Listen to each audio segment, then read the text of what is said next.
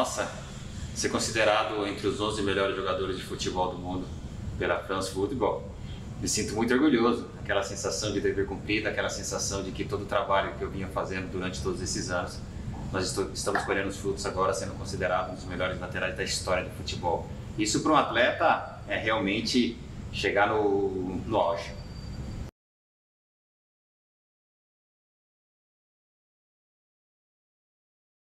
Para mim, todo jogo é impressionante.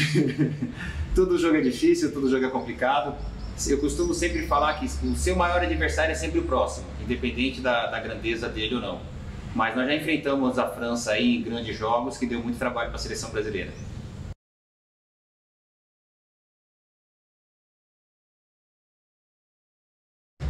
Tem tanta história engraçada no futebol.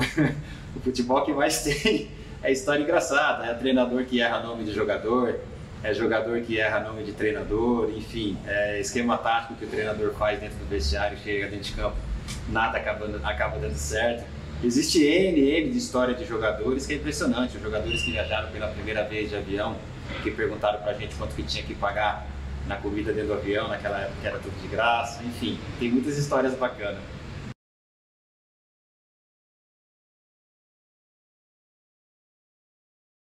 Bom, o meu nome verdadeiro é Marcos Evangelista de Moraes. O Cafu vem de Cafuringa, um ex-jogador do Fluminense que jogava antigamente. Bom jogador, diga-se de passagem. E quem me apelidou de Cafuringa foi o João Alemão, no Itaquaquecetuba. Como todos os jogadores do Itaquaquecetuba tinham apelido, ele viu que eu jogava na ponta direita, tinha as mesmas características do Cafuringa, acabou me apelidando de Cafuringa, com o tempo virou Cafu.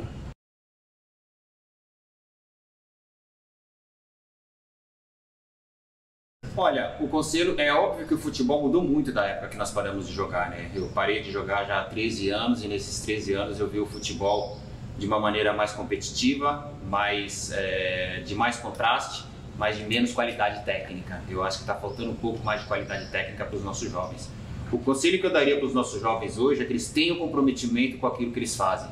Eles têm que se comprometer com o futebol, têm que se comprometer com, com a instituição, têm que se comprometer com o clube que paga eles eu acho que eles têm que ter esse senso de comprometimento e foco, focar em conquista de títulos.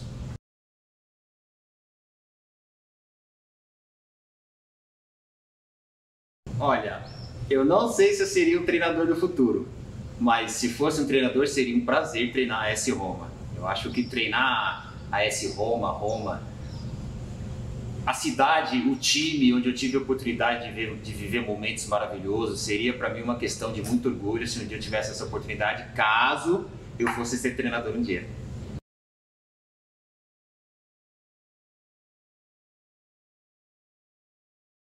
Cara, para todos os fãs da S Roma, da Roma, ser campeão com a Roma é uma coisa sensacional. Ser campeão com a Roma é uma coisa fantástica o Roma depois de a Roma depois de 18 anos nós somos campeão nós conseguimos ser campeão com a Roma em um campeonato que nós jogamos o fino da bola. Nós tínhamos um time que realmente jogava por música.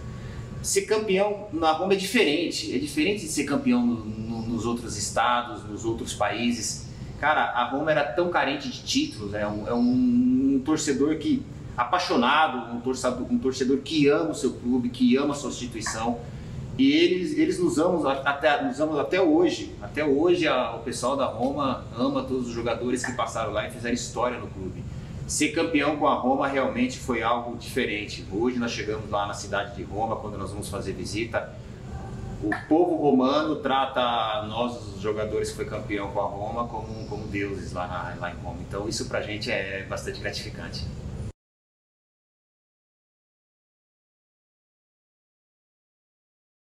Cara, eu me dava muito bem com todo mundo. Me dei muito bem com o Tomasi, com o Totti, com o Del Vecchio, com o Candelá, com o Altair, o Assunção, o Nakata, o Zago, o Di Francesco era um cara sensacional, um cara maravilhoso.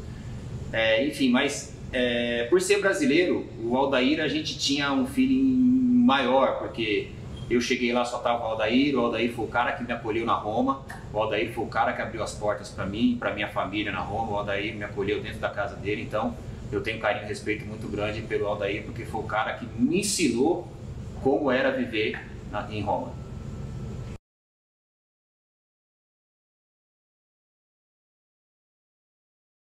Olha, eu acho que já já eles vão chegar no apelinho. Eu acho que falta pouca coisa. A Roma chega em terceiro, em quarto, vice-campeão. Eu acho que falta a mentalidade de vencedor, a mentalidade de falar: esse ano nós vamos ganhar, esse ano nós temos condições. Principalmente quando você chega na frente no campeonato, quando você está liderando o campeonato. Quando você lidera um campeonato com 4 ou 5 pontos na frente, esse é o momento de você falar: nós vamos ser campeão. É o nosso momento, é a nossa chance. Por quê? Você tem duas maneiras de passar pelo clube: com uma simples passagem ou como campeão no clube.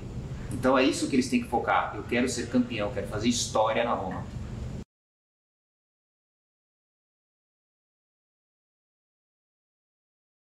A S Roma pode melhorar muito. A gente sempre torce para que a Roma sempre melhora, melhore a cada temporada que passa. As contratações são contratações pontuais, isso depende muito do treinador, né? Eu não sei se o time da Roma hoje precisa de um zagueiro, um goleiro, um meia ou um centroavante. Isso é muito pontual, é muito delicado. É claro que nós queremos ver os maiores jogadores, os jogadores de classe, os melhores jogadores do mundo jogando na Roma para que a Roma possa voltar a ser campeã novamente. Isso seria fantástico.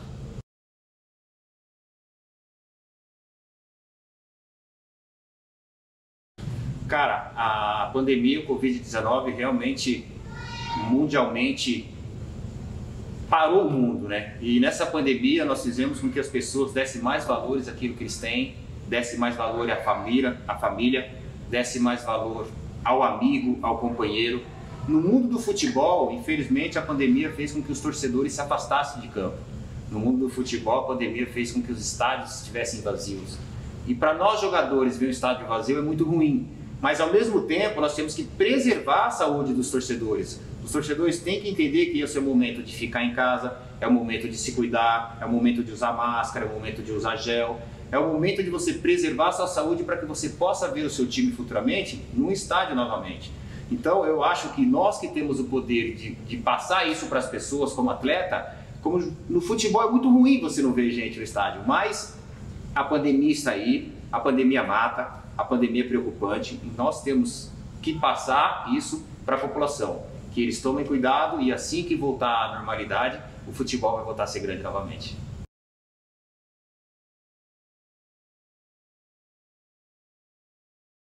Olha só, para todos os fãs, os fanáticos, os tifosi é, da Roma, Capitão Cafu, que é Pendolino, mandar um abraço para todos vocês, pedir para que vocês realmente nesse período de quarentena, fique em casa, preserve as suas vidas, preserve a vida das pessoas que amam vocês, dos seus pais, dos seus avós, dos seus filhos.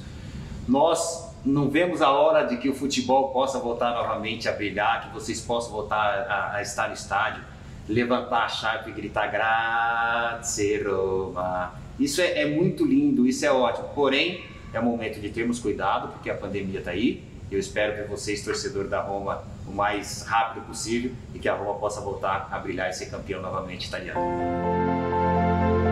Win 365